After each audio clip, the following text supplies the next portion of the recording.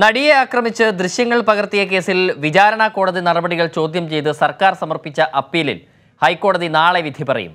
കേസിൽ കൂടുതൽ സാക്ഷികളെ വിസ്തരിക്കണമെന്നും പ്രതികളുടെ ഫോൺ വിളികളുടെ അസൽ രേഖകൾ വിളിച്ചു വരുത്തണമെന്നുമാണ് ഹർജികളിലെ ആവശ്യം. അതിനിടെ അന്വേഷണ ഉദ്യോഗസ്ഥരെ അപായപ്പെടുത്താൻ ഗൂഢാലോചന നടത്തിയെന്ന കേസിലും ക്രൈംബ്രാഞ്ച് അന്വേഷണം പുരോഗമിക്കുകയാണ്. കൂടുതൽ വിവരങ്ങളുമായി നമ്മൾ കൊച്ചിയിലേക്ക് ഇപ്പോൾ പോകുന്നു. ശരത്ത് നെല്ലിയാടി ചേരുകയാണ് വിവരങ്ങളുമായി. ശരത് ഗുഡ് മോർണിംഗ് ഈ കേസിന്റെ അന്വേഷണം കുറെ കൂടി വിപുലപ്പെടുത്തിയതായി മനസ്സിലാക്കുന്നു അന്വേഷണ സംഘം. ഈ ഗൂഢാലോചന നടത്തിയത് ഉൾപ്പെടെയുള്ള കേസുകൾ. അതിനിടയ്ക്ക് വി ഐ പി ആരാണ് എന്നുള്ള അഭ്യൂഹങ്ങൾ പല വഴിക്കായി വാർത്തകളായി വരുന്നു. ഇപ്പോൾ ഏറ്റവും പുതുതായി ഈ കേസിൽ നമുക്ക് റിപ്പോർട്ട് ചെയ്യാൻ കഴിയുന്ന കാര്യങ്ങൾ എന്തൊക്കെയാണ്?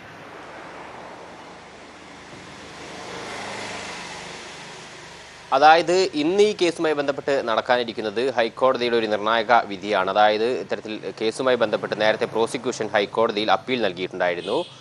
സംഭവം എന്ന് പറയുന്നത് ഇത്തരത്തിൽ എട്ടോളം പേരെ വിസ്തരിക്കണമെന്ന ആവശ്യം പ്രോസിക്യൂഷന്റെ ആവശ്യം വിചാരണ കോടതി നിരസിച്ചതിനെ തുടർന്നാണ് ഇത്തരത്തിൽ പ്രോസിക്യൂഷൻ ഹൈക്കോടതിയിൽ അപ്പീൽ നൽകിയത്. കേസിൽ പുനരന്വേഷണം അനുവദിക്കണം അതേപോലെ തന്നെ പ്രതികളെ പ്രതികളെ വിസ്തരിക്കാൻ അനുവദിക്കണം. ഒപ്പം ഇത്തരത്തിൽ പ്രതികളുടെ ഫോൺ വിളികളുടെ അസൽ രേഖകൾ വിളിച്ചു വരുത്തണം തുടങ്ങിയ ആവശ്യങ്ങളാണ് ഈ ഒരു അപ്പീലിൽ പ്രോസിക്യൂഷൻ പ്രധാനമായും പറയുന്നത്. അതേപോലെ തന്നെ പ്രോസിക്യൂഷന്റെ ചില ചോദ്യങ്ങൾ ഇത്തരത്തിൽ വിചാരണ കോടതി രേഖപ്പെടുത്തുന്നില്ല എന്ന ഒരു പരാതി കൂടി ഈ ഹർജിയിൽ ചൂണ്ടിക്കാണിച്ചിട്ടുണ്ട്. നിലവിൽ ഈ ഒരു ഹർജിയിൽ പ്രധാനമായും ഹൈക്കോടതി കഴിഞ്ഞ ദിവസം ഈ ഹർജി പരിഗണിച്ച സമയത്ത് പറഞ്ഞിട്ടുണ്ടായിരുന്നത് മതിയായ കാരണങ്ങളില്ലാതെ ഇത്തരത്തിൽ വിസ്തരിക്കാൻ പ്രതികളെ വിസ്തരിക്കാൻ അനുവദിക്കില്ല എന്നൊരു കാരണം ഹൈക്കോടതി പറഞ്ഞിട്ടുണ്ടായിരുന്നു. എന്നാൽ ഈ നിലവിൽ സംവിധായകൻ ബാലചന്ദ്രകുമാറിന്റെ വെളിപ്പെടുത്തലിന്റെ അടിസ്ഥാനത്തിൽ പുനരന്വേഷണം നടക്കുകയാണ് എന്ന് എന്ന കാര്യവും പ്രോസിക്യൂഷൻ ഹൈക്കോടതി അറിയിച്ചിട്ടുണ്ട്. എന്തായാലും ഇന്നത്തെ വിധി ഏറെ നിർണായകമാണ്. ഇത്തരത്തിൽ ഈ ഒരു സംവിധായകൻ ബാലചന്ദ്രകുമാറിന്റെ കൂടി വെളിപ്പെടുത്തലിന്റെ അടിസ്ഥാനത്തിൽ നിലവിൽ കേസിന്റെ കൂടുതൽ വിവരങ്ങൾ അന്വേഷണ സംഘം പരിശോധിച്ചു വരികയാണ്. ആ സാഹചര്യത്തിൽ ഈ വിധി ഇത്തരത്തിൽ വീണ്ടും വിസ്തരിക്കണമെന്നുൾപ്പെടെയുള്ള ആവശ്യം ഉന്നയിച്ചുകൊണ്ടുള്ള പ്രോസിക്യൂഷന്റെ ഹർജി ഹർജിയിലുള്ള വിധി ഏറെ നിർണായകമാണ്. അത് അനുകൂലമാണെങ്കിൽ കേസിന് ഏറെ കേസിന് ഏറെ മുന്നോട്ട് പോക്കിന് നിർണായകം തന്നെയാണ്. അതുകൊണ്ട് തന്നെ ഇന്നത്തെ വിധി ഏറെ നിർണായകമായി തന്നെയാണ് കാണുന്നത്. നിലവിൽ നടക്കുന്ന പുനരന്വേഷണത്തിലും ഒപ്പം കേസിന്റെ മുന്നോട്ട് പോക്കിനും ഒപ്പം ഈ ഒരു കേസുമായി ബന്ധപ്പെട്ട് നമുക്കറിയാം നിലവിൽ സംവിധായകൻ ബാലചന്ദ്രകുമാറിന്റെ വെളിപ്പെടുത്തിന്റെ അടിസ്ഥാനത്തിൽ മറ്റൊരു കേസ് കൂടി ഇതിന് പുറമെ ഒരു പുതിയ കേസ് കൂടി ദിലീപിനെതിരെ രജി- രജിസ്റ്റർ ചെയ്തിട്ടുണ്ടായിരുന്നു. അത് അന്വേഷണ ഉദ്യോഗസ്ഥരെ വധിക്കാൻ ശ്രമിച്ചു അപായപ്പെടുത്താൻ ശ്രമിച്ചു എന്ന കേസാണ്. ആ കേസിലും ആ, അന്വേഷണം ഊർജിതമായി തന്നെ മുന്നോട്ട് പോകുന്നുണ്ട്. കഴിഞ്ഞ ദിവസം ദിലീപിന്റെ വീട്ടിൽ ഉൾപ്പെടെ അന്വേഷണ സംഘം പരിശോധന നടത്തിയിട്ടുണ്ടായിരുന്നു.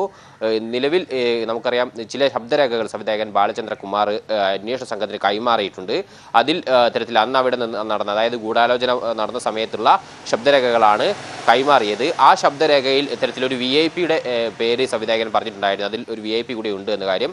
അത് കഴിഞ്ഞ ദിവസം കോട്ടയം സ്വദേശി മെഹബൂബ് വ്യവസായി കൂടിയായ മെഹബൂബിന്റെ പേരായിരുന്നു. കഴിഞ്ഞ ദിവസങ്ങളിലൊക്കെ തന്നെ ഉയർന്നു വന്നത്. അതുകൊണ്ട് തന്നെ മെഹബൂബിന്റെ ശബ്ദ പരിശോധന നടത്താനുള്ള സാധ്യതയുണ്ട്. നിലവിൽ അത് സംബന്ധിച്ച് അത്തരം നീക്കങ്ങളിലേക്ക് ക്രൈംബ്രാഞ്ച് വൈകാതെ തന്നെ കടക്കുമെന്നാണ് മനസ്സിലാക്കുന്നത്.